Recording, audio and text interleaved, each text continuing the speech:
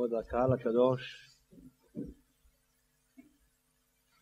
ויאמר אל עמו, נעם בני ישראל רב ועצום ממנו, הווה נתחכמה לו, פן ירבה. אומר רש"י, הווה נתחכמה לו, נתחכם לעם. ורבותינו דרשו, נתחכם למושען של ישראל. והסבירו המפרשים הכוונה למושען של ישראל הקדוש ברוך הוא. להתחכם עליו. העצה הייתה של בלעם. בלעם אומר לפרעה, אני אתן לך שתי עצות. עצה אחת, לא תיתן להם להתפלל. אל תאפשר להם להתפלל לפני בורא עולם. עצה שנייה, נתחכם למושען של ישראל. הקדוש ברוך הוא נשבע שלא יביא מבול לעולם, אז אנחנו נמצא דרך לזרוק אותם לים. אבל אומר לו, אל תשלח אותם מיד לים, ולא אתה תשלח אותם, אחר כך יעשו לך משפטים, בג"צים, איך אפשר, מלך עושה ככה, אתה תגיד לעם שיעשו את זה, תגיד לרופאים, לאחיות, לעובדים סוציאליים שיעשו דברים האלה, שהם ישפיעו, הם ידברו, אתה נקי, אתה צדיק, אתה בסדר, וגם תלך אתה בשלבים שלבים. סתם להגיד לאישה להפיל את העובר שלה, להרוג את הילד, היא לא תסכים. קודם כל בוא נעשה להם צרות. לא יהיה להם אוכל, לא יהיה להם פרנסה, נעבו אותם עבודת פרך, עבודה קשה, בחומר ובלבנים, אז לבדה כבר יימאס לה, לא תרצה את הילדים. אז בוא נתחיל, אמר לו בחוכמה, את החוכמה הזו מה נעשה? נשים עליהם שרי מיסים. אחרי זה שיבנו ערי מסכנות לפרעה. וכאשר יענו אותו כן ירבה וכן יפרוץ. הם מענים את עם ישראל, ועם ישראל נמצאים במצב קשה, עבודה קשה, בחומר ובלבנים, ולא היה להם אוכל משובח לתת להם. ולא הספיק הדבר הזה, המשיכו הלאה בפרך, וימררו את חייהם. אחרי כל זה, שהמצב קשה וחיים מרים, אז אומר מלך מצרים למילדות העבריות שם אחת שפרה ושם אחת, שם השנית פועה. אומרים חז"ל פועה זו אפרת. שמעתם את דוקטור שוסיים את כל הפעילות הנפלאה שלהם. חז"ל אומרים למה קוראים לה פועה? כמה פירושים. פירוש אחד פועה היא צועקת או שרה לתינוק. אבל חז"ל אומרים עוד פירוש. היה להם הרבה עבודה לילד, אין להם זמן. אז שפרה, אימא יוכבת, זקנה, מטפלת לאט לאט, אבל מרים אין לה זמן. מה הייתה עושה? אומרת, ילד, ילד, תצא, תצא. מוציאה אותו מהמעי אמו. מהר, תצא, אין לי זמן. הייתה פועה לו, קוראה לו, ויוצא הילד. אה, אתם בית אמא תורה, ככה עושים. מה עד שאת עושה את הדברים האלה? בא פרעה ואומר למילדות, וראיתן על האובניים, אם בן הוא ועמיתן אותו, אומר אבן עזרא, שאמר להן,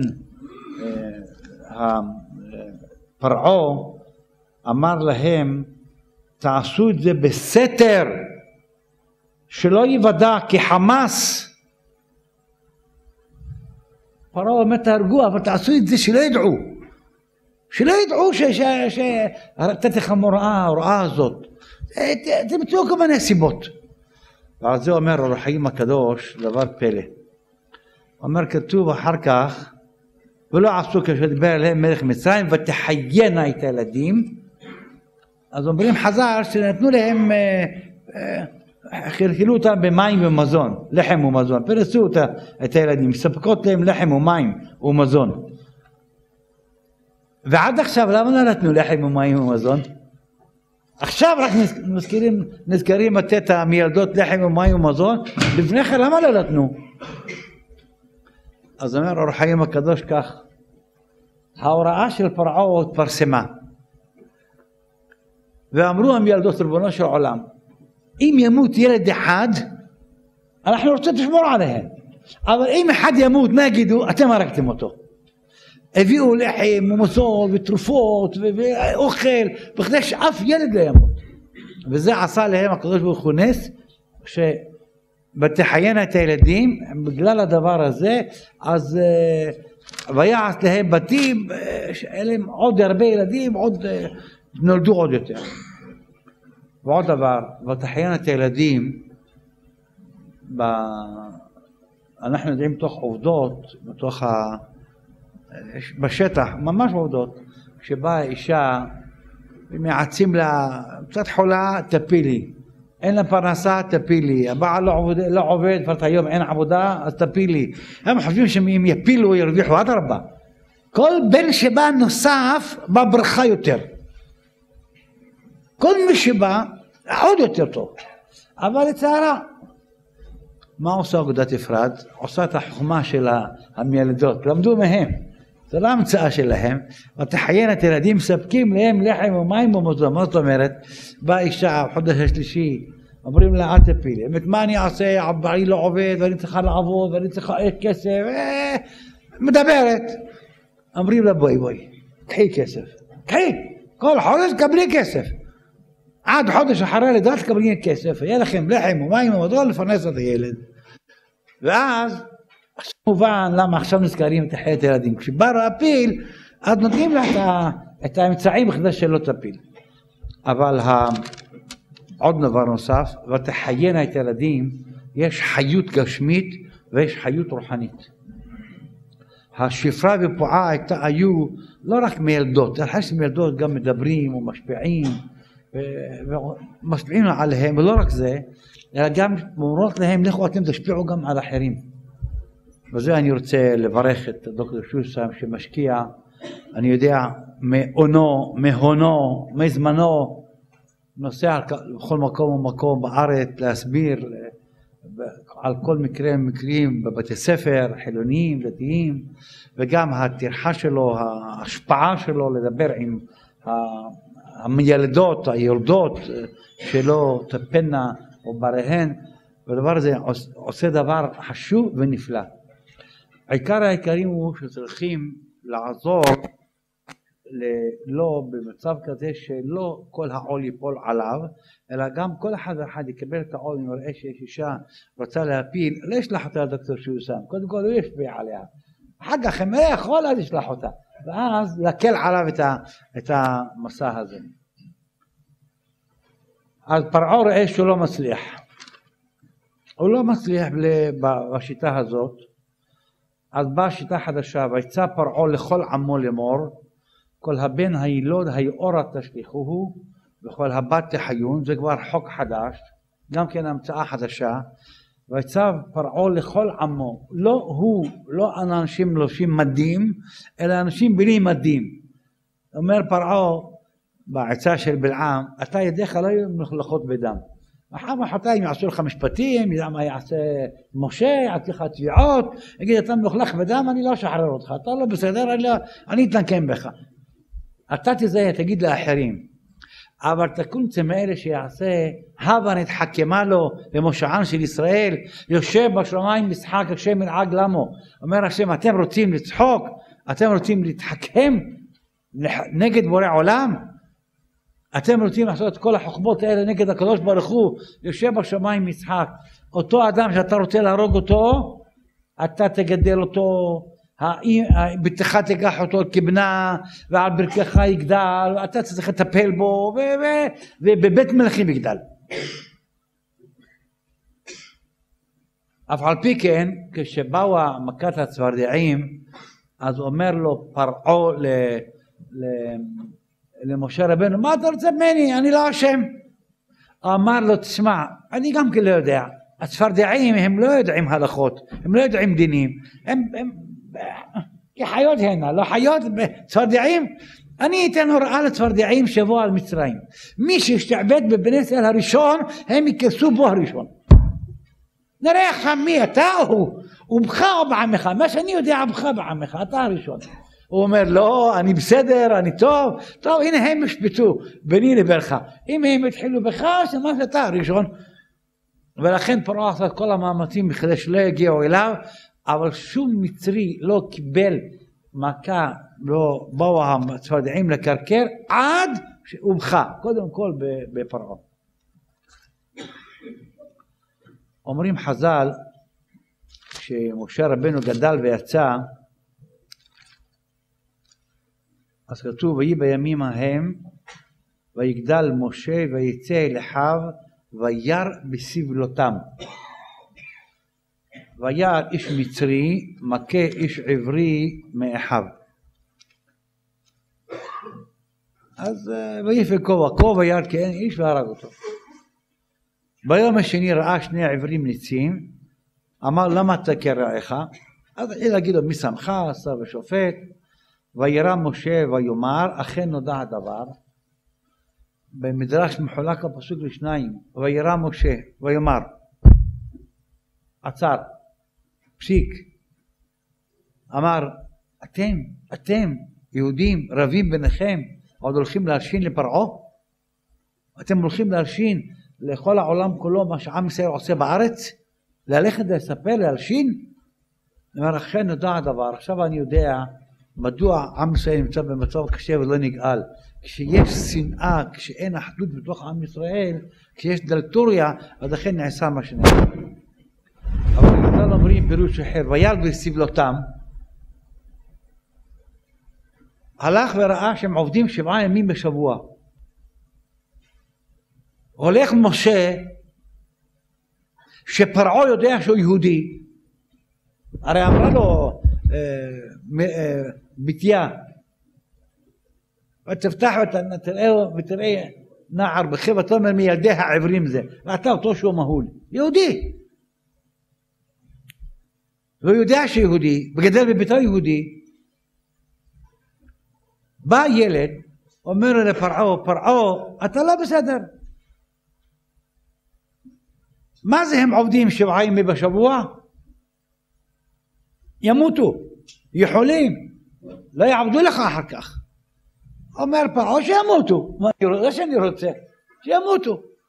אומר לו לא, אני פוחד שהם לא ימותו, יהיו חלשים, יהיו נכים, לביטוח לאומי יבקשו אה, גמלת נכות, אה, כל האוצר שלך יהיה חסר, הם יישארו במחירים, נכים, לא עובדים, ויבואו אה, אחר כך יבקשו ממך עוד כסף, ואז פרעו וירבו וישרצו. אז מה אתה רוצה? אמר תן להם יום אחד חופש ואז הם לא יהיו חולים ואז יכולים, אתה יכול לשלוט עליהם אז פרעה יושב חושב, פרעה רשע משעבד בבני ישראל בפרך, בחומר, בלבנים, בכל עודה בשדה הילד קטן בן 13 בא נותן לו עצות איך תתעץ עם, עם בלעם, עם יתרו, עם איוב, אלה היועצים שלו בא ואומר לו פרעה, בסדר. אומר לו הילד הקטן הזה, משה, אתה יודע מה? אני מציע שמחר. אמר למה מחר? עוד שבוע. אמר לו לא, מחר, מחר. כי מחר היה יום שבת. וכתוב במדרש, זה שאנחנו אומרים בתפילה, ישמח משה במתנת חלקו, כעבד נאמן קראת לו, אותו יום שהוא בחר לעם ישראל, ביום שבת, זה מתנת חלקו. ריבונו של עולם, פרעה הרשע, שונא, אנחנו קוראים לו פרעה הרשע, כל מי ששונא את עם ישראל נקרא רשע. כשבא משה ואומר השם שלח אותו, אומר לו מי השם? אפיקורת, רשע, מרושע. זה נותן יום אחד חופש לעם ישראל יום שבת. הוא ייתן להם. אדרבה שיעבדו עוד יום. מה אתה נותן להם יום אחד חופש לשבת? מה אתה משתכנע מהילד הקטן הזה? אלא דברי אמת, דברים כנים של, של, של משה חדרו לליבו של פרעה.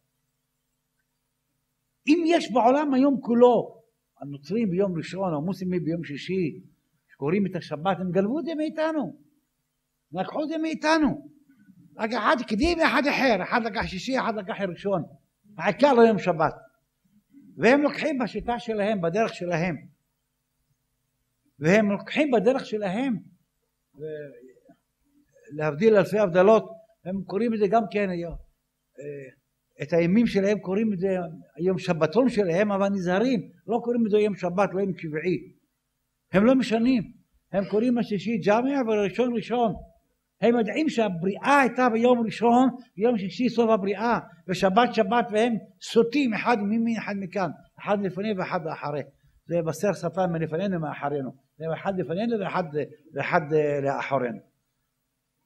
ואנחנו לא צריכים ללמד קטגוריה על עם ישראל במצב שאנחנו נמצאים היום, רק הדברים מובנים. כמה שפחות חילולי שבת, כמה אדם צריך להיזהר. אנחנו מדברים גם אנשים שבדרך למצרים, לא הולכים בדרך תורה ועירה, גם פרעה נותן יום שבת. ויום השבת זה עדות לקדוש ברוך הוא שהוא ברא את העולם. אבל אנחנו אומרים מנוחה שלמה שאתה הוא רוצה בה. שבת זה לא אני קובע איך אני רוצה לנוח בצורה כזו בצורה כזו. יש הלכות, יש דינים מה מותר ומה אסור. אנחנו בשבוע שעבר נשאלנו פה שאלה בעניין דוד שמש בבוילר אז חשבתי, ענינו תשובה, גמרנו, יצאנו ידי חובה. וגם פרסמנו את זה בכל אליהו. אבל הציבור, אלה שנמצאים כאן, השם ישמנה בחייהם, באו אחרי זה שאלו למה ככה ולמה כך. הגענו הביתה, באו רבנים לשאול, איך הרב אומר ככה, התחילו כבר לדבר. אחר כך קיבלנו גם כן, התקשרו אמרנו להם אנחנו מבטיחים לכם זה ביום שני זה. נסביר את זה בצורה יותר רחבה. קודם כל נגיד לכם הקדמה יש מי שאומר דוד שמש מותר להתרחץ ביום שבת בדוד שמש מים חמים בדוד שמש וזה נקרא עונג שבת. יש מי שאומר אסור לגע בזה גם בליל שבת ומי. מי שנוגע במים חמים של דוד שמש בליל שבת אז לא עונג לנגע, הופך אותו לנגע.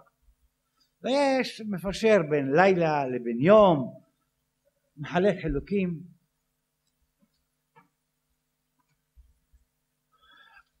יש אה, מחלוקת בין אה, רבי יהודה לרבי שמעון. דעת רבי יהודה כל דבר שאדם עושה דבר שאינו מתכוון בשבת. ומה ההגדרה דבר שאינו מתכוון? אני הגדרתי את זה אבל אחר כך ראיתי שאחרים מגדירים יותר טוב אז אני אגיד את שלי ואגיד מה שיותר טוב. הגדרה דבר שאינו מתכוון זה פעולה מותרת ונעשית אגב פעולה אחרת והוא לא התכוון לה.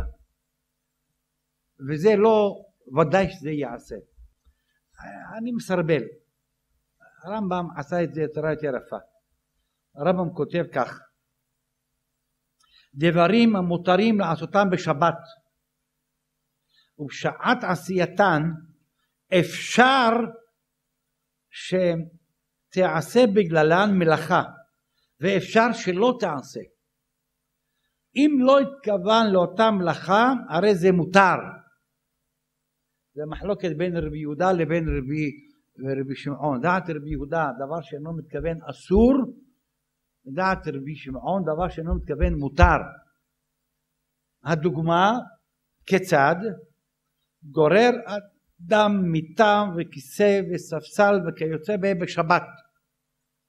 גורר לא על רצפה של שיש מדברים ולא על כביש אלא מקום של עפר ובלבד שלא יתכוון לחפור חריץ בקרקע בשעת גרירתן שהוא גורר שלא יתכוון שיהיה חריץ ולפיכך אם ברגע שמשך את הכיסא ואת השולחן או את המיטה חפרו את הקרקע, אינו חושש בכך לפי שלא התכוון. וכן מהלך לפי עוד דוגמאות. אז זו מחלוקת בין רבי יהודה לבין רבי שמעון, דבר שאינו מתכוון אם מותר בשבת או אסור בשבת. דעת רבי יהודה אסור, דעת רבי שמעון מותר. דעת רבי יהודה שאומר אסור, אסור מהתורה או אסור מדרבנן? אסור וחייב חטאת או רק אסור? גם בזה יש מחלוקת. משמע מהצפות במ"א וגם מרש"י משמע שרבי יהודה שאומר שדבר שלא מתכוון אסור זה אסור דרבנן. מהתורה מותר אבל רק בדרבנן החמירו בדבר הזה. רש"י בקוף אה, אה, מ"א בקוף כ"א הביא את זה שרק מדרבנן. אבל יש בצופות מקומות אחרים חוקים עליו, יש במנחת חינוך חוקים עליו, יש בדעת הרמב"ם אומרים שדעת הרמב"ם הבין מה שאמר מותר, משמע שדעת רבי יהודה רק אסור ולא, ורק אסור ולא, ולא חייב חטאת ויש דנים בזה אה, מחלקות הרבה בדבר הזה. בכל אופן, ב... יש מי שאומר שחייב חטאת. אומר בשתה מקובצת בכתובות. דברי תורה הולכים ממסכת שבועות למסכת כתובות ונראה לי, אומר השתה מקובצת, שאסור דאורייתא אבל חיוב חטאת אין. כלומר לדעת רבי יהודה אסור או מהתורה או מדרבנן או מחייב חטאת ודעת רבי שמעון מותר אבל מכיוון שהרמב"ם הגדיר אפשר שתעשה ואפשר שלא תעשה או אנחנו רוצים להגדיר ולא ודאי אז בואו נתפוס את שכתוב מושך ספסל אז אם מושך ספסל וספסל הוא כבד בהכרח שהקרקע תחפר, אז גם הרמב"ם מודה שערבת רבי שמעון אסור. זה הגדרה אחת. אם חופר, איסור דאורייתא, בחפירה ממש. יש למשל הלכה שמוזכרת גם בהלכות אה, בשולחן ערוך. וזה מחלוקת גם כן רבי יהודה וחכמים ורבי שמעון. אדם יש לו אה, מחם חשמלי. אז מחם חשמלי עובד כל הזמן בשבת. אז זה המחם הזה מעולם אדם לא יכול להוסיף עליו מים בשבת. אבל אם יש לו מחם על גז, על חשמל נגמר נגמרו המים. מוציא את המחם, שם אותו על השיש, שם אותו על מקום אחר, ורוצה להוסיף בתוך המחם מים. מים הרבה. מותר, אסור. אומר בי, אומר רבי יהודה, אסור. אתה לוקח מים בתוך המחם, אתה מצרף אותו. אתה הופך אותו לקשה יותר. אומר רבי שמעון זה לא מתכוון לקחת את הכלי לצרף אותו, הוא מתכוון שיהיה לו מים פושרים, זה הוא מתכוון. אז הוא דבר שאינו מתכוון. אה, התוצאה יצא שהכלי הזה אה, יהיה מצורף, יהיה חזק יהיה, הוא לא מתכוון לדבר הזה. אז בהלכה נפסקה, ההלכה נפסקה כדעת רבי שמעון גם בדבר הזה, מחם שפינו ממנו מים חמים, מותר לתת לתוכו מים צונן מרובים, כדי להפשירן ומותר אה, לצוק מים חמים.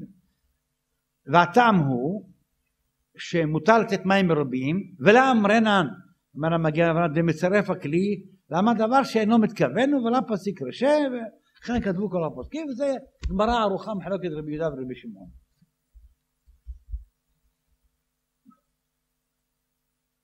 מחלוקת נוספת אם אדם יעשה פעולה מיוחדת, מסוימת, וכתוצאה ממנה יצא איסור דרבנן, האם גם בזה חולק רבי יהודה ואומר שאסור, או רק כתוצאה ממנה יהיה חפירה שזה איסור דאורייתא, זה אני אומר אסור. אבל אם כתוצאה מה, מהפעולה יצא איסור דרבנן אז נאמר שמותר גם בזה מחלוקת בין הפוסקים באיסור דרבנן אם אומרים דבר כזה או לא אומרים דבר כזה. משנה למדך העריך בדבר הזה. דבר נוסף בזה נסיים את הכללים אחר נחזור. פסיק, פסיק רשע בדבר דלה ניחלה. כלומר פסיק רשע הגמרא מגדירה את זה אדם לוקח עוף לוקח את הראש שלו מנתק את הראש מה, מהגוף ואומר יחיה פסיק רשע ודאי ימות ודאי ימות. ואם פסיק רשע ודאי ימות בזה כולם מודים שזה אסור גם רבי שמעון אומר שזה אסור גם אם הוא לא מתכוון. מה יהיה בפסיק רשע דלני חלה בדרבנן? כן אומרים או לא אומרים? אז כתוב בסימן שי"ד בעניין ההלכה אם מותר לפתוח קופסאות של סרדינים או קופסאות של אפונה בשבת.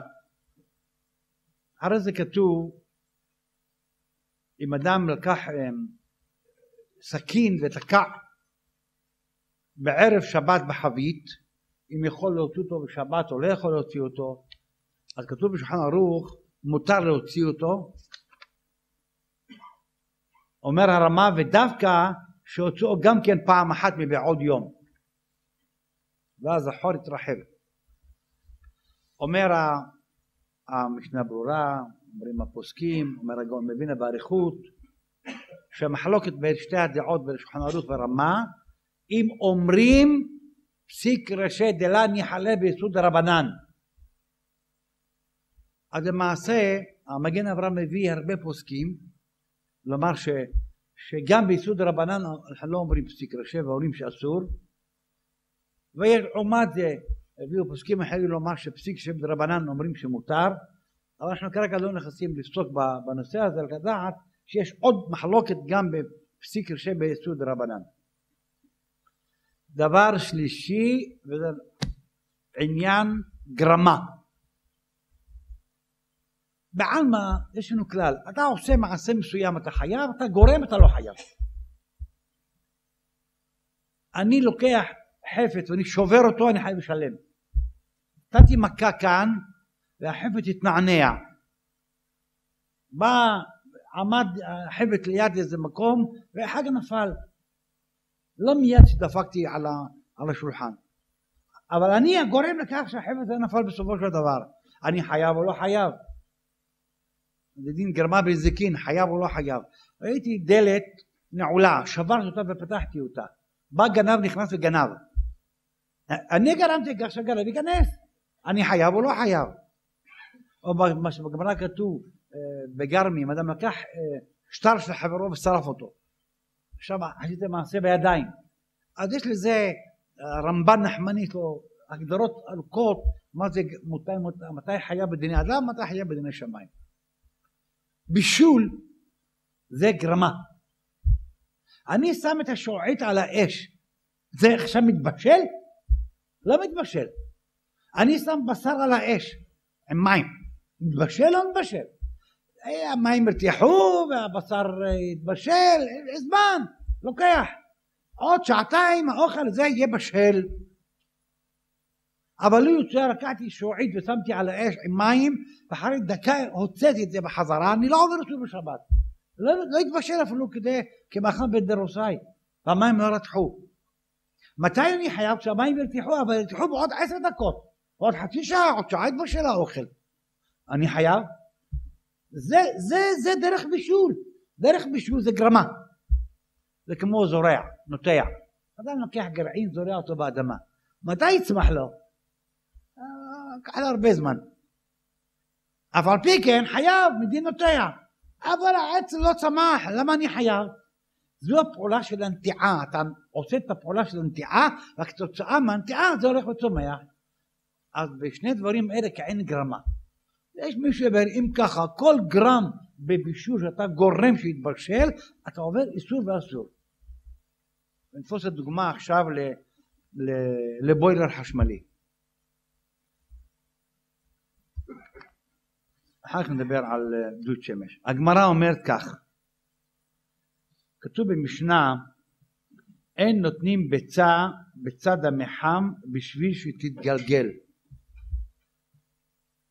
לא ייקח ביצה וישים את זה בצד המחם, זאת אומרת מחם של מים חמים. אומר רמב"ם, לא משנה, נחושת או ברזל, לא משנה, שם על יד את הביצה והחום של המים החמים מחממים את הביצה והביצה אחר כך אפשר להשתמש בה ולאכול אותה, היא לא ביצה קשה, אבל ביצה יכולה להתגלגל קצת. והגמרא אמרה אם עשה ככה חייב חטאת. ולא יפקיענה בסודרין. רבי יוסף מתיר ולא יטמיננה בחול באבק דרכים בשביל שתצלה. כל זה ברשימה אחת. בכדי שהדברים יהיו ברורים, כלשון הרמב"ם שכותב כך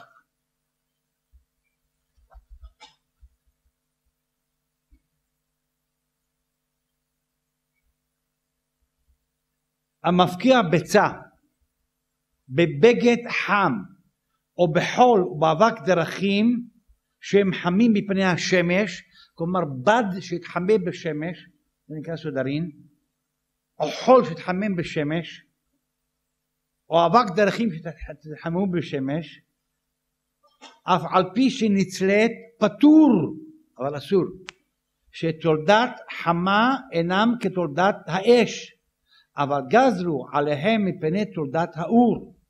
אומר הרמב"ם, זה מה שאנחנו כרגע למדנו במשנה, שאם אדם לוקח ביצה ולוקח בד שהתחמם על מחם של מים חמים, שמתי את הביצה בתוך המחם הזה, בתוך המים, הבד הזה, אדוני עובר איסור דאורייתא.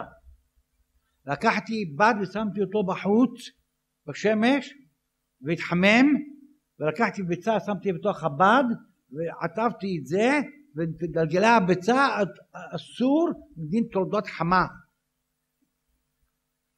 או אבק דרכים אבל אדם יכול לקחת סיר של מים לשים את זה בחוץ שיבוא על זה שמש ויחמם את המים זה לא נקרא תולדות חמה אלא זה נקרא חמה אז הגמרא אומרת כך בחמה כל עמל פליגי דשרה. בין רבי יוסף בין חכמים, אדם לוקח סיר של מים חמים, שם את זה בשמש וזה מתחמם, מותר, אין בעיה. בתולדות האור כל עמל פליגי דאסור.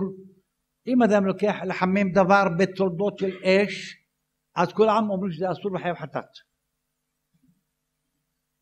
כי פליגי בתולדות חמה, מור סבר גזרנן, תולדות חמה עד תולדות האור, כך סובר, חכמים סוברים שגוזרים תולדות חמה עד תולדות האור, ומור סבר לה גזרן, רבי יוסף לא, גוזר, לא גוזרים.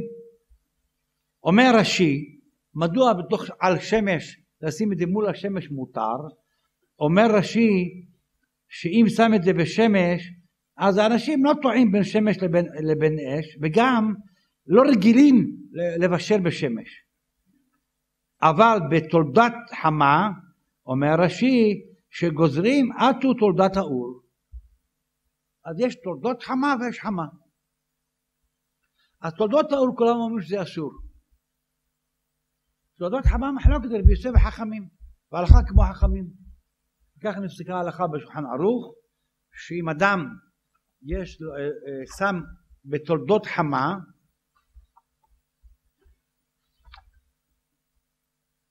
אז כשם שאסור לבשל באור, כך אסור לבשל בתולדות האור. כגון ליתן ביצה בצד קדרה או לשברה על סודר שהוחם באור.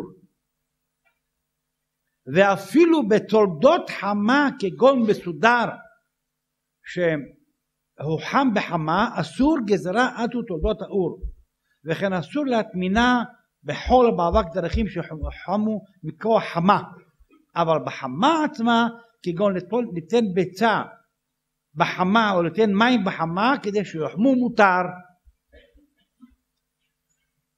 בגמרא יש עוד דוגמה, ושולחן ערוך לא הביא את זה. בגמרא יש עוד דוגמה, כתוב בגמרא שאמר רשב"ג, מגלגלין ביצה על גבי גג רותח ואין מגלגלים ביצה על גבי סיד רותח. היום כבר לא יודעים מה זה סיד, אבל אני אגיד לכם מה זה סיד. סיד פעם היו לוקחים אבנים, אבנים, לא אבנים אה, סוג חזק, אבנים סוג פשוט, והיו שורפים את האבנים. עד שהאבנים האלה כמעט מתפוררים, נהפכים ללבן מלמעלה לשחור בפנים לבן, מוציאים את הפיח מלמעלה, ולוקחים את האבנים האלה השרופים, שמים אותם בתוך מים והם נמסים ונהפכים לסיד. אז הסיד הזה תולדות אש, אש, הוא שרף אותם. אז אם אדם שם ביצה שם חייב. אבל אומר רשב"ג, אם אדם גלגל ביצה על הגג, אז אומר מותר. בשולחן ערוך זה לא מוזכר. ההלכה הזאת לא מוזכרת. אומר המגן אברהם, אומר הרש"ל, ואפילו לגלגלה על החול בשביל שתצלה נמה אסור.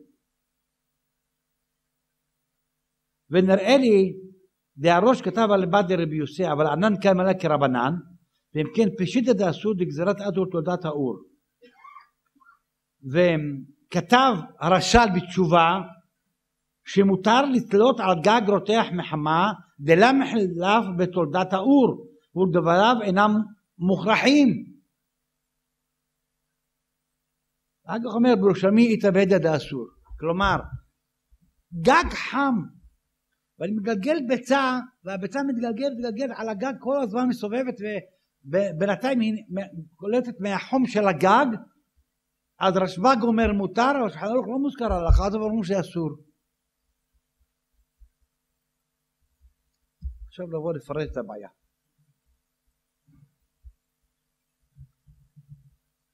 יש מי שאומר שדוד שמש זה חמה לא תולדות חמה. אבל השמש מכה והשמש מחממת את המים ונפח לך למים חמים וזה הכל. זה סברה אחת. סברה נוספת, יש מי שאומר כל מה שגזלו תולדות חמה זה בזמנם, שלא היו דודי שמש. או בדורות שלפני דור אחד שלנו. היום בכל בית, אין לך בית שאין שם דוד שמש. אז בכל בית יש דוד שמש, זה כבר נפוץ הדבר הזה. אז מכיוון שהדבר הזה נפוץ, יש דודי שמש בכל מקום ומקום, אז לא עטו למגזר עטו דבר אחר. כולם יודעים את זה. לעומת זה, עליו השלום הרב צבי נריה שאל פעם את הרב פרנק עליו השלום, אמר לו הפוך, היום נאסור, נאסור דוד שמש למה? מכיוון שרש"י אמר שאין דרך לחמם בזה, היום רגילים לחמם, אז נאסור. אז ככה זה בצורה הפוכה. אנחנו לא יכולים לגזור בדעתנו. מה שאמרו חכמים אמרו מותר, מותר, אסור, אסור. אנחנו לא מוצאים גזירות. אז בחמה זה מותר. מה נקרא הגדרה של דוד שמש? חמה או תולדות חמה. יש מי שאומר, יש שם זכוכית היא רק שומרת שלא יבוא רוח. יש שם אה, ברזילים, צינורות כאלה שיש להם כמה צלעות או בעיגול ובא עליהם שמש, בסדר, בא עליהם שמש, השמש מחמם את המים. הצינורות בכדי להכין את המים, זה כלי. ולכן זה נקרא חמה וזה מותר. השני אומר, ולמה אתה צובע את את הצינורות האלה בצבע חור מיוחד ועד שתלות לך את החום. למה אתה לוקח זכוכית מיוחדת ועד שתרכז לך את קרני החום?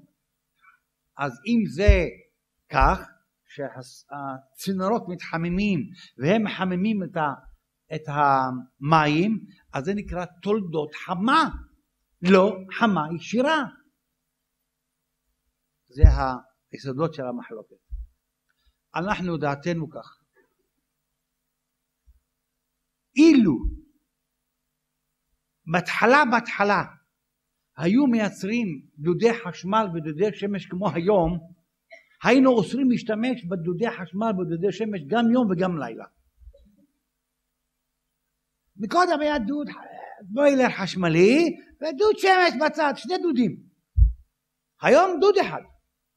ואותם הצינורות. אתה תפתח בברז לך בכיור בבית או במקום אחר, יוצא לך מים חמים. כתוב על זה מאיפה יצא מים חמים? מהבוילר או מהדוד שמש? לא כתוב. אז ככה נגזור ונאסור, אולי זה בבוילר, יבוא אחד יראה אותך מוציא מים חמים ומים בבוילר, גם לי יעשה בוילר. אבל מכיוון שלא התחילו ככה בגזרה, על כן אנחנו לא יכולים שוב פעם לגזור סתם, אלא מה שחכמים גזרו גזרו, ועל כן. בבוילר, אם אתה מוציא מים חמים, חום שהיה צולדת בו, נכנסים מים חמים אחרים, אף על פי שהחשמל לא מחובר לבוילר, יש ניתוק כבר, וזה לא מחמם עכשיו. ברגע שבאים מים חמים, ואתה יודע שיבואו מים קרים, זה כעין פסיק רשה, אתה יודע שיבואו מים חמים, קרים, שיתחממו, ואם יבואו מים חמים ויתחממו, אז חום הזה יעבור איסור דאורייתא, כי אתה יודע, ופסיק רשה גם דעתי בשמעון אוסר, אפילו שאתה לא מתכוון לדבר הזה. אבל כן אסור בין שהחשמל מנותק וכל שכן החשמל לא מנותק. לא רק זה, יש מי שאומר שאם אתה לוקח בוילר, או לא נגיד אה, רגיל, מחם מים חמים רגיל, ואתה שם אותו בשקע בערב שבת, אתה לא צריך את המים בערב שבת, אתה צריך בבוקר של הבקשות, בבוקר באים אנשים, אתה מכוון את השעון, בשעה שלוש בבוקר ידליק לך חשמל, יחמם לך את המים, בבוקר באים ישתו מים חמים. הכל בערב שבת, שעון חשמלי. דעת חזון איש אסור. הפשט של הערוך של רבנו זלמן אוסר. הפשט של הצפות בדף ל"ט לאסור. אם המים היו חמים בערב שבת דבר אחר והם מתחילים להתחמם ביום שבת זה דין הטמנה. אבל אנחנו כרגע לא נכנסים לדבר הזה, אז על בוילר כל, אם יוצא מזה מים חמים שהילד צולדת בו, אסור לך להשתמש בו גם אם החשמל מנותק, ועל כן בערב שבת, לפני שאתה אדם הולך להתפלל, קח את הברז של הבוילר, תראה אם המים סולדים, מים סולדת בהם, אמר לאשתו את לא יכולה בערב להשתמש במים החמים האלה, אם זה בוילר. או שיפתח שהמים ירדו עד יראה שהיד לא סולדת אז הוא אמר עכשיו את יכולה להשתמש למה? את מוציאה מים חמים שאין היד לא סולדת וייכנסו מים קרים בדוד החשמלי שהיד לא סולדת בהם אז אין בזה בשיעור מותר. אבל אם יד סולדת אסור לילה ויום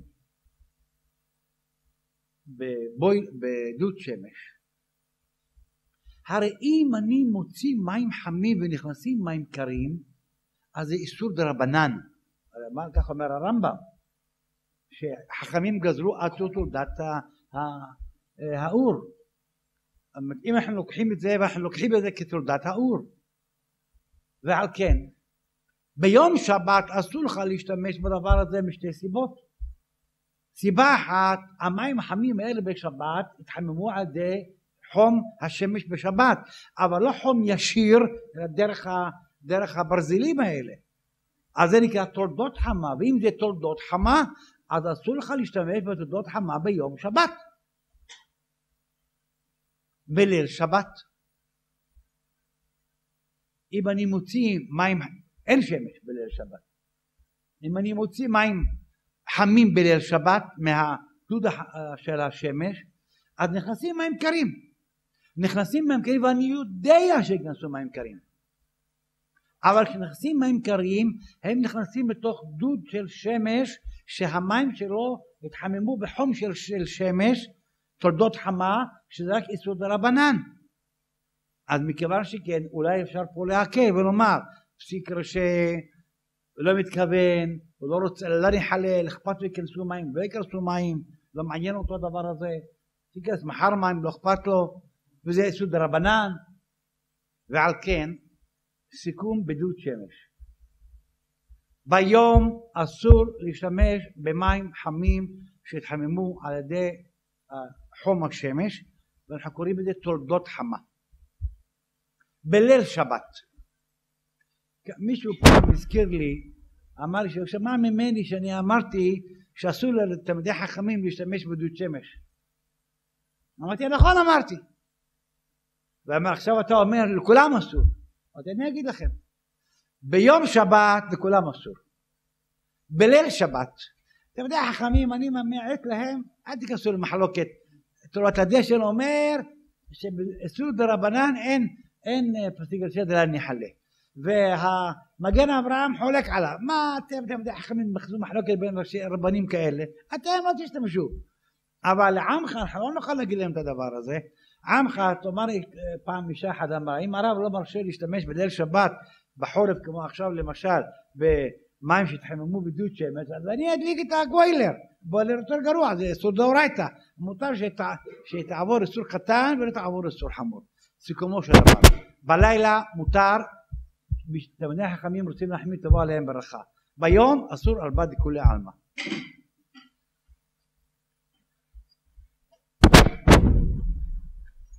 רש"י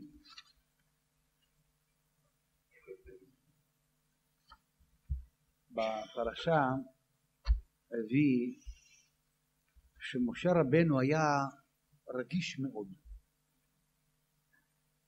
רואה שני אחדים מתקוטטים, למה אתם מתקוטטים? רואה מצרי מכה איש עברי, צועק עליו הורג אותו. לא יכול לסבול עוול, לא יכול לסבול.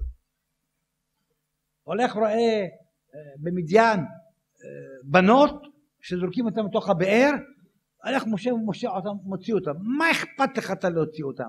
אולי מגיע להם מוות. מה אתה מתערב? ויקום משה וישען. מה אכפת לך אתה? לא, הוא לא יכול לסבול עוול, לא יכול לסבול. בורח לו גדי, בורח לו גדי. אז אה, רץ אחריו, אה, לוקח אותו, מרים אותו ובוכה יחד עם הגדי, מרחם על הגדי. רחמן. כשהוא כל כך רחמן, בא הקדוש ברוך הוא ומדבר איתו כל כך כל כך קשה מאוד איך שהשם לראות איך השם מדבר איתו לשמוע. ויאמר השם לא ראיתי את עוני עמי אשר במצרים וצעקתיו שמעתי פנינו גיסיו ידעתי את מכאוביו ורד להצילו לעלותו ועתה אני צעקת בן צל בא אליי גם לי תתלחת במצרים לוחצים אותם ועתה לך ואשלחך פרעה והוציא את עמי בני ישראל ממצרים כאילו השם מתחנן לפניו כל כך מעריך לו. יגיד לו תלך. יגיד לו משה תלך לבני פרעה צעק עליו תוציא ממצרים מה השם כל כך מעריך מעריך מעריך משכנע את, את, את, את משה רבנו? טוב אחרי השם אומר לו אומר לו בא משה אומר מי אנוכי כי אלך אל פרעה? וכי אותי את בני ישראל. מה אתה מתחמק? מה אתה מתחמק? לך! אומר לה השם כי יהיה עמך וזה לך עוד כי אנוכי שלחתיך והוצאך את העם תעבדו ודורקים על ההר הזה. אז בא רש"י ממעיט את ההתנגדות של משה אומר בוא שעלה אני, אני לא ראוי מי אני שאני אלך? אני לא ראוי. ועוד הם לא ראויים הם גוי מקרב גוי מלשין אחד על השני רבים אחד עם השני. אז אנחנו הם לא מתאים לא ראויים לצאת ממצרים עוד לפני הזמן אומר להשם אתה אל תגיד לי אני אגיד לך כי אהיה עמך אומר אור החיים הקדוש אהיה עמך אתה אומר לא נעים לך לדבר עם מלך ומעתה גדולתך גדולה מגדולתו וכתרך גדול מכתרו אתה אומר מי אנוכי? מה זה מי אנוכי? אני שלחתי אותך אתה בחור שולח אותך מי זה פרעה? מי זה שרים, שרים אחרים בעולם כולם שמדברים נגד העם ישראל? מי הם? אומר אתם יותר גדול מהם, מה אתה פוחד מהם? אני אומר לך אתה גדול מהם. זו תשובה. אתה אומר ישראל לא ראויים? בהוציאך את העם, תעבדון את האלוקים על ההר הזה, הם עתידים לקבל תורה, ועל סמך זה שעתידים לקבל תורה הם ראויים. תשובות. בא משה רבנו הלאה אומר משה הנה אנוכי בא ואמרו לי מה שמו מה אני אומר עליהם שואל הצדיק והחסיד האדמו"ר המלובן המקובל אלוקי האדמו"ר יעקב אבו חצירא לכתוב ועליכם ועל כל עמו צעיר שבוע ההילולה שלו. אומר, משה רבנו אומר, מה, אמרו לי, מה שמו? אתה שותה מים, לברך שהכל נהיה בדברו, ברוך אתה השם. אתה לא יודע מה, שם השם? לא יודע. אתה שואל את השם, יגידו לי מה שמו, תגיד לי, ברוך אתה השם. אתה לא יודע, יודע. מה אתה שואל שאלות? מה תגיד, אתה לא יודע? אומר הרב, אני אגיד לכם, אביא לכם הוכחה שמשה רבנו יודע.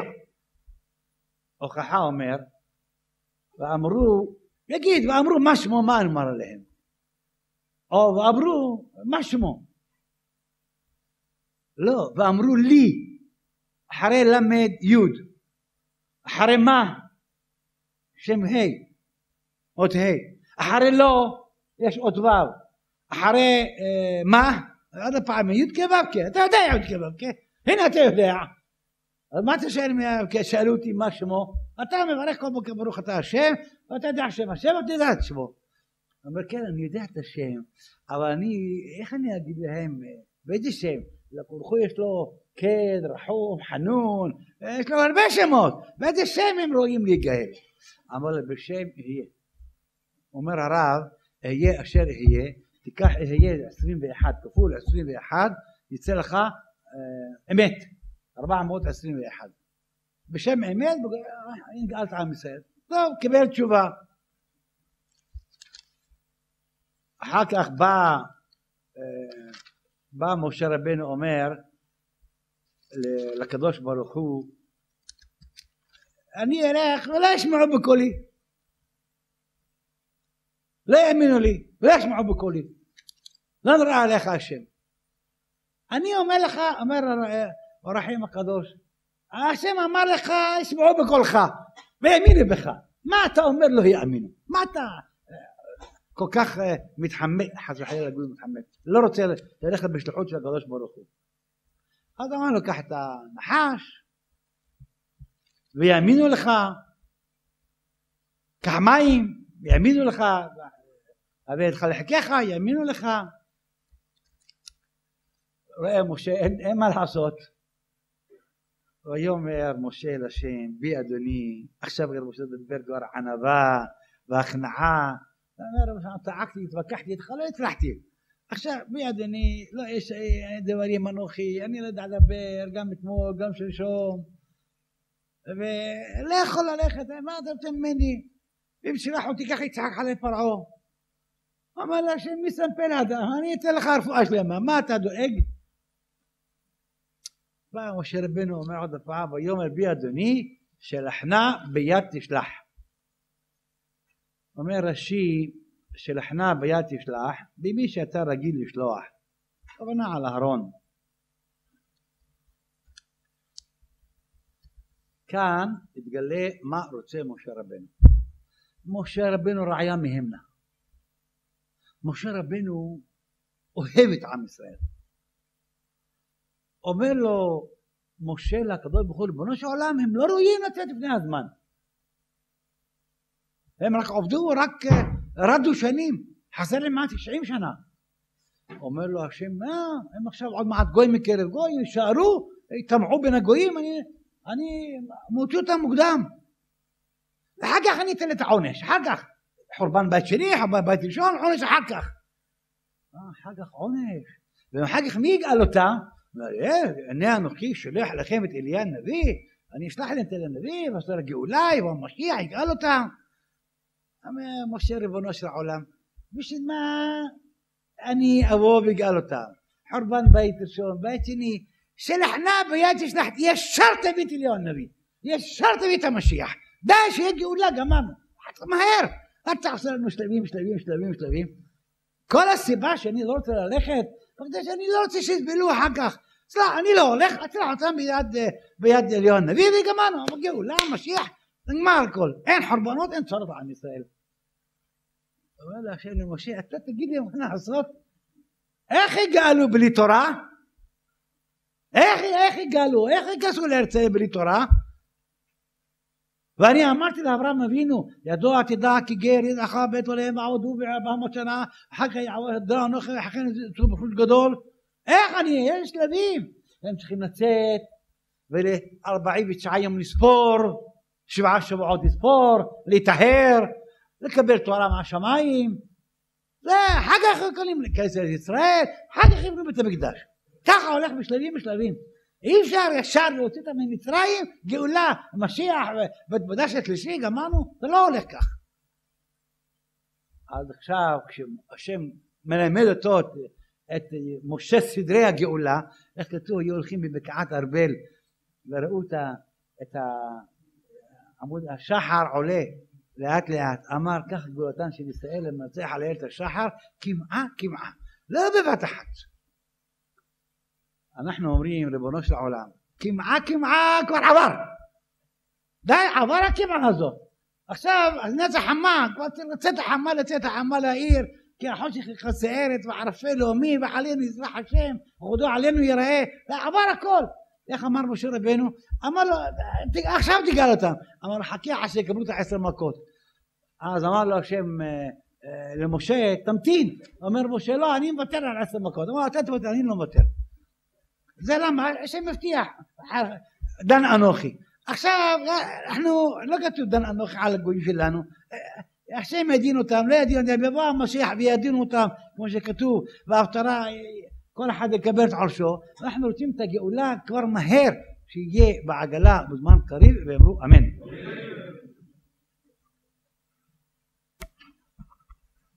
ערב טוב, מורנו ורבנו, עסקו ואימצו. אה, היום בערב השאלה, השאלות שיוצגו הן אה, ממבשרת וממושב גימזו. השואל הראשון יהיה מר ציון סוויסה ממבשרת. בכבוד, רבי ציון. ערב טוב לכבוד מורנו ורבנו, עטרת ראשנו, מרן הראשון לציון, הרב מרדכי אליהו שליטא. שלום וערב טוב. השם יאריך ימיך בטוב. אמן. ונזכה לראות עין בעין, וביד משיח צדקנו, במהרה בימינו. אמן. אמן. קהל קדוש ונכבד וצופים יקרים. כבוד הרב, ברשותך, אשאל מספר שאלות והבהרות שכולם בעניינם תפילת שחרית. א', האם ההיתר לתפילה לאחר, שחרית לאחר עלות השחר וקודם הנץ חמה מתייחס רק לעובדים שממהרים ומיד בגמר התפילה נוסעים הם לעבודתם או שמא ההיתר מתייחס גם לעובד שמתחיל את עבודתו בשעה מאוחרת יותר ויכול להצטרף לכתחילה למניין זה. שתיים, מאחר וישנו ספק אם אנו יוצאים ידי חובת קריאת שמע מדי יום ביומו, לפני הנץ החמה, שנתפח לנו כהרגל, אנו נוהגים לקרוא כל יום בשנית קריאת שמע. האם להמשיך במנהג זה? ומה בעניין צמיחת גאולה לתפילה? שלוש, יש שאומרים שעדיף להתפלל יחיד אם אין מניין בנמצא, מאשר להתפלל במניין משקה מקום. האם אין עדיפות לתפילה בציבור מאשר לתפילה ביחיד? ארבע, האם מי שקבע או קבעו ללמוד חוק לישראל מדי יום ביומו לאחר התפילה, עדיף שיתפללו עם עניין משקה מקום של הפועלים, ובעיקר לקיים לימוד זה מדי יום ביומו. ובכלל, האם סיוע בעזרה בילדים ובעבודת הבית טרם היציאה לעבודה נחשב כשעת הדחק, ויכול לבדם להצטרף למניין לתפילה במניין קודם הנץ. שאלה אחרונה, ואם אין היתר לכתחילה או בדיעבד לאנשים שמתחילים את עבודתם בשעה מאוחרת, קרי שבע ומעלה, מה יהיה מנת חלקם של משקי מקום, שלא יהיה להם מניין, או כפי שביטא זאת אחד מחבריי, לא תראה אור יותר בבית הכנסת בשעות הבוקר. תודה כבוד הרב. אמ, אנחנו ננסה להסביר את השאלות ונענה עליהן בקיצור. הגמרא אומרת שתפילת שחרית כוותיקין זה המצווה הגדולה ביותר ואם לא, אם אדם לא יתפלל כוותיקין, כמה שיכול יותר קרוב לוותיקין יתפלל אבל מהדין אדם יכול להתפלל בזמן שמכיר את חברו הרגיל עמו קצת ארבע אמות ויכירנו בערך שעה לפני נץ החמה. אז שעה לפני נץ החמה אדם יכול להתחיל להתפלל וזה נקרא, לא נקרא בדיעבד, רק דיעבד זה נקרא אחרי עמוד השחר. שעה לפני נץ החמה אדם יכול להתחיל להתפלל. היום, מדבר בירושלים, נץ החמה בערך שלוש, שש, שלושים וחמש, שלושים ושש. הגבאי אומר ככה. שש, שש שלושים ושש, עד בחמש שלושים ושש יכולים להתחיל להתפלל. דהיינו, להניח תפילין. וזה קשה, ועל כן אמרנו לכולם, אם זה קשה להם, יכולים להתחיל להתפלל, ויגיעו להשתבח, יאמרו השתבח, ולפני קדיש של השתבח יניחו תפילין אם הגיעה השעה חמש שלושים ושש. יש מחלוקת אם תפילת הנץ החמה עדיף או תפילה בציבור עדיף. אם זה חד פעמי אז ברור שתפילה הנץ החמה עדיף. אבל אם זה קבוע אז אה, מניין בציבור עדיף מכיוון שהקהל התחיל ללעוז עליו שהוא לא, שהוא לא מתפלל. זמן לנצח חמה, מה שאנשים היום אה, רגילים על סמך הלוחות, יש הבדל דקה, שתי דקות בין לוח ללוח. אבל לפי סברתו של הרב בית דוד, שעה לפני כן שלנו זה נצח חמה. שעה לפני כן. על סמך זה מכירים באנשים שצריכים ללכת לעבודה. אנחנו לא סומכים על זה, אבל אנחנו סומכים על, אמרנו שעה לפני נצח חמה אפשר להתחיל להניח תפילין. מצווה לאדם ואהבת לרעך כמוך. יש יישוב, יש שם עשרה מתפללים בבוקר, ושבעה מהם הם פקידים, בשעה שמונה צריכים להגיע לעבודה, שבע וחצי מגיעים לעבודה. שלושה מהם צריכים לקום מוקדם לרוץ לעבודה בשש וחצי. אז קמים האלה של השעה, של השעה, שלושה האלה קמים מוקדם, אין להם מניין. מתפללים יחיד והולכים הביתה, הולכים לעבודה. באים אלה של הפקידים, באים, הם שבעה, הם מניין, גם כן מתפללים, הולכים. עכשיו, אלה העובדים, לא יכול להגיד להם, תחכו עד אחרי זה, בעל הבית יזרוק אותם מהעבודה. אז להם מותר להתפלל. אלה שלהם לא שעת הדחק, מותר להם להתפלל עם אלה ששעת הדחק מדין ואהבת לרעך כמוך חסד עושים איתם. ואם הם עושים חסד גם הקדוש ברוך הוא עושה איתם חסד ויקבל להם את התפילה כאילו זה נצח חמה. למה? שהם עושים חסד עם, עם האחרים. אמ, בעניין חוק לישראל חשוב מאוד לאדם לקבוע כל יום אחרי התפילה לקרוא חוק לישראל. לא רק בכדי שיש בפנים גם תורה וגם נביא וגם תנ"ך, כתובים וגם משנה וגם גמרא וגם זוהר וגם מוסר וגם הלכה הכל יש בו אבל מי שחיבר אותו, מי שתיקן אותו זה ארי הקדוש מי שהוסיף על זה אה, התוספות זה החידה והארי כל כך התלהב מהרעיון הזה.